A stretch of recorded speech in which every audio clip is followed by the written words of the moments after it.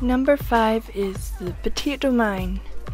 I like using this sometimes whenever I'm going to die and then sometimes I put it down just right before and then the person will explode.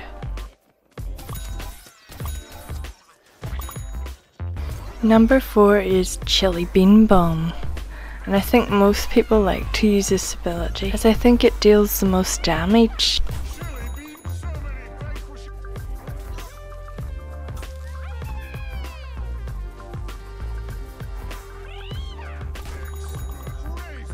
Number 3 is Butter Barrage and I think it's great because you can throw it quite far and it does a lot of damage as well.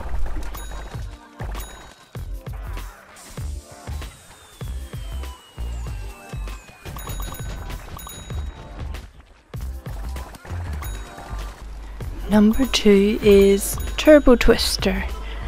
I think it's a great one to use as well. It can be quite powerful and I enjoy using it.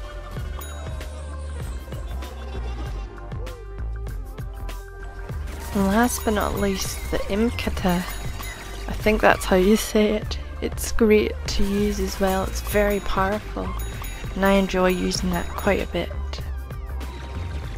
So thanks for watching and please let me know what your favourite abilities are.